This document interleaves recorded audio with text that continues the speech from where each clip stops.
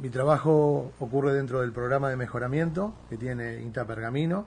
Es un programa de mejoramiento de hace muchos años. Y dentro del germoplasma que, veníamos manejando, eh, hay, una, hay una buena cantidad de materiales que son más precoces que los híbridos que habitualmente se siembran en planteos tempranos.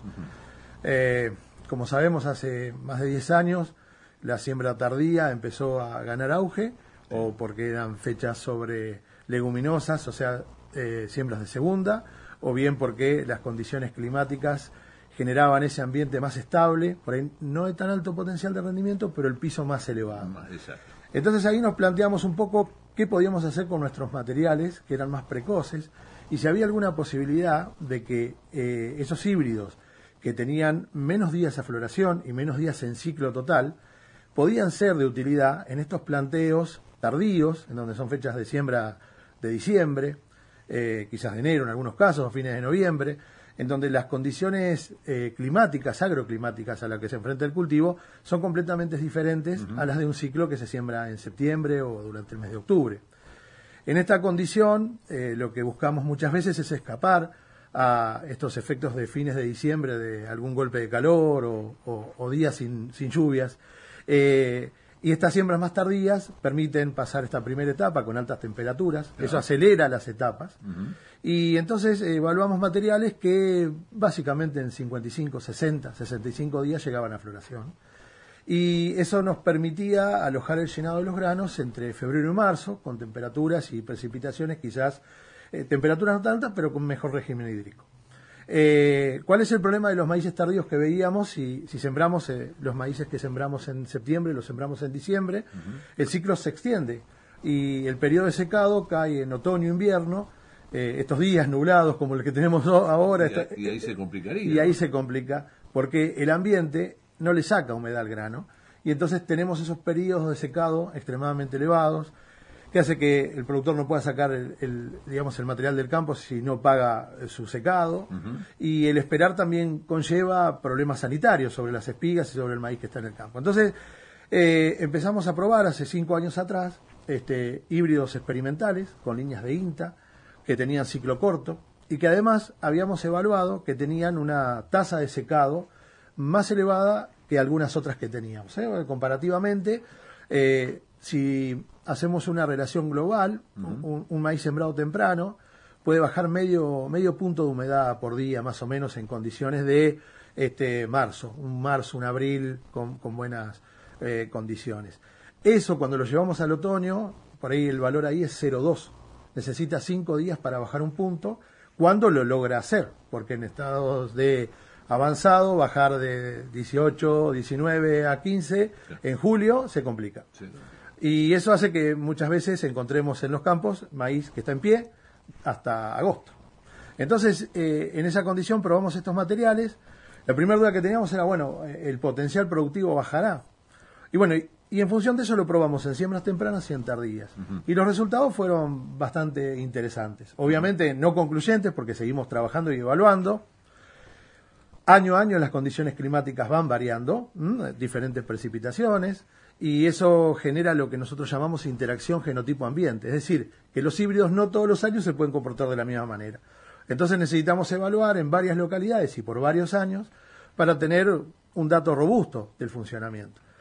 Y entonces ahí lo que encontramos en estos primeros dos o tres años que te puedo contar, porque este año está todavía en pie el material, eh, es que cuando sembramos temprano estos híbridos, llamémosle semi precoces, le llamamos de madurez relativa entre 110 y 100 más o menos son materiales de cinco meses de ciclo si los sembramos en septiembre. Eh, en algunos casos veíamos que tenían un, un 10, un 15% de rendimiento menos a un híbrido de ciclo completo que exploraba más tiempo el ambiente. Pero cuando los ponemos en un ambiente de siembras tardías, encontramos que se revierte la situación. Obviamente te hablo de promedios en forma general.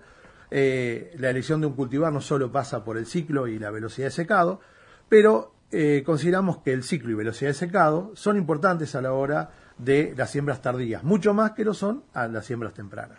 Y en este caso encontramos situaciones en donde los materiales precoces que evaluamos, eh, como te decía, propios del programa y algunos comerciales, porque recientemente varias empresas empezaron a traer materiales de ciclo más corto y los empezaron a posicionar para estos planteos.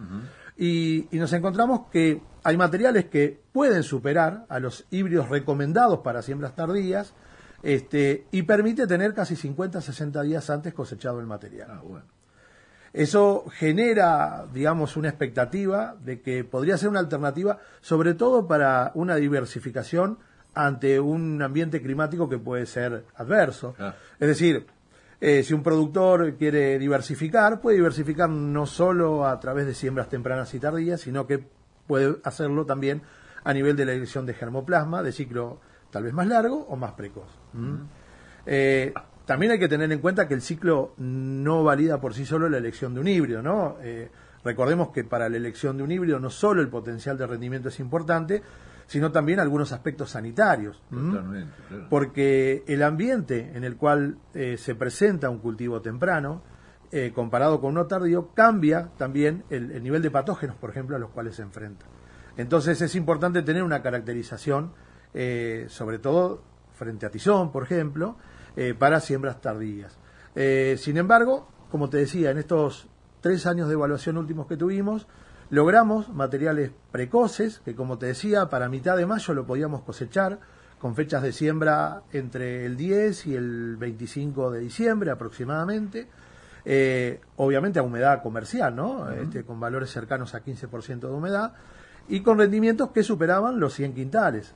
Está bien que nuestros ensayos son en microparcelas, pero el potencial de rendimiento ante un escenario de siembras tardías creo que justifica la seguir evaluando y hacer la recomendación. Pero muy bien, muy rica experiencia.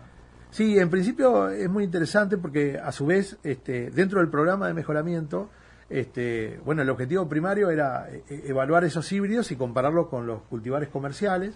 Y tenemos este, híbridos experimentales de INTA que, que no desentonan, digamos, con el material comercial. Eh, y eso de alguna manera nos da una pauta de que, bueno que algo de eso puede tener destino de, productor al final de, nuestro programa que es por ahí lo que uno desde el programa de mejoramiento busca muchas veces con, con las investigaciones que hace. Excelente.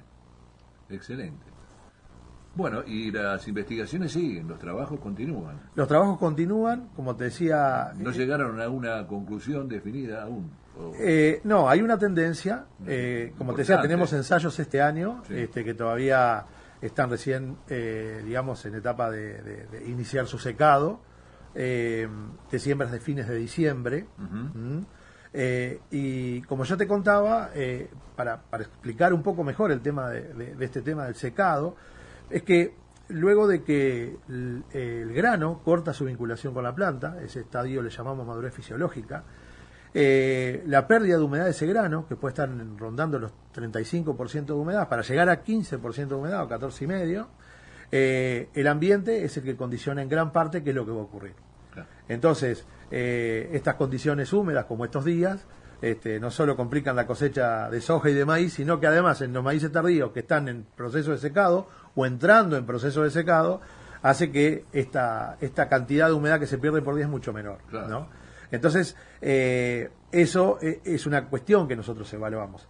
Eh, para eso tomamos muestreo semana por semana de cada uno de estos híbridos y, digamos, pesamos los granos tal cual como lo cosechamos, Empezamos, eh, luego los enviamos a estufa durante una semana o diez días este, para secarlo y luego tomamos el peso seco y sacamos el contenido de humedad. Como te decía, el ambiente es muy condicionante de esto. Pero también hay condiciones que son del genotipo, del híbrido. Algunas cuestiones estamos evaluando, no tenemos datos contundentes en esto, pero la literatura cita que, la cantidad de chalas o si la espía queda expuesta hacia arriba o, decumbente, pueden condicionar en parte esta, esta condición del periodo de secado. Entonces, bueno, la búsqueda es en eso, en encontrar características que nos aseguren un secado rápido, ese periodo que sea bien corto y que nos permita levantar, salir del lote lo antes posible sin perder calidad de grano y sin resignar rendimientos.